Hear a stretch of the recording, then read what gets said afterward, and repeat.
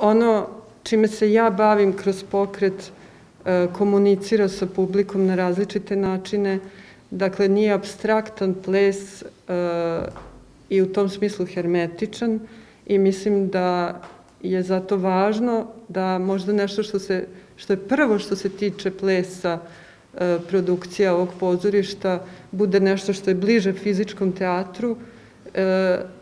i bliže onome na što je publika ovde navikla da bi mogla da iskomunicira, a onda kasnije možda mogu biti to i neke konceptualnije ili abstraktnije plesne forme ukoliko e, vidite da interesovanja za ples ima, a nadam se da ćemo mi to interesovanje probuditi u nekom e, zamahu.